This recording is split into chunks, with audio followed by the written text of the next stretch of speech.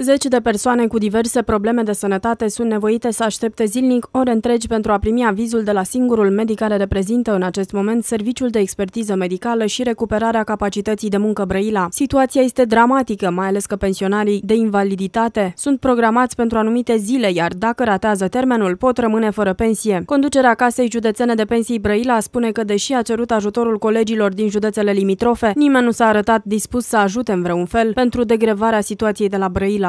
În momentul de față, Serviciul de Expertiză Medicală și Recuperarea Capacității de Muncă din cadrul Casei Județene de Pensii lucrează în sistem de avarie totală, pentru că din patru cabinete, la momentul de față, funcționează un singur cabinet, sau mă rog, un singur medic. Am încercat uh, să port o discuție deocamdată cu colegii din județele limitrofe, se pare că nu prea am avut câștig de cauză și oricum nu pot să fac nicio mișcare până în data de 15-16 iulie, când uh, expiră acel mandat de arest preventiv pentru cele trei uh, doctorițe. În aceste condiții, directorul instituției roagă pe brăileni să înțeleagă și să facă tot posibilul pentru a rezista la cozile interminabile. El spune că o altă soluție nu există și ar fi păcat ca oamenii să rămână fără pensie doar pentru că nu au putut aștepta câteva ore.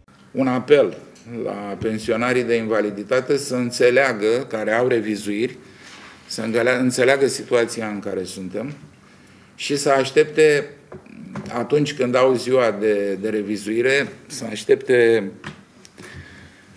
pe holurile acestui serviciu. În ceea ce îi privește pe pacienți, aceștia s-au resemnat cu situația și disperat să își obțină drepturile bănești, sunt dispuși să îndure așteptarea chinuitoare. De mult? Nu mai oră. De când și mai aveți de stat, nu? Mai am, dar cum au câtă lume este aici înaintea mea. Așteptați, nu? Da. Merge mai greu decât uh, în dățile trecute? Da, da, mai greu. Dar sunteți nevoite să așteptați, că nu aveți încotro. N-am încotro, nu să aștept. Cam de cât așteptați? La 8, la ora 8 dimineață. Foarte dimineață. Și azi, cam când preconizați să intrați? Nu, nu.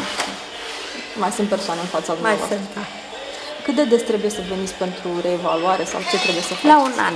La un an. Două dintre cele trei doctoriți acuzate de fapte de corupție sunt în acest moment în arestul Inspectoratului de Poliție Județean Galați pentru 30 de zile. Cea de-a treia se află pentru aceeași perioadă în arest la domiciliu. La domiciliile celor trei au fost găsite în total sume de bani însumând aproximativ 1,5 milioane de euro, bani proveniți din șpăgile luate de-a lungul timpului.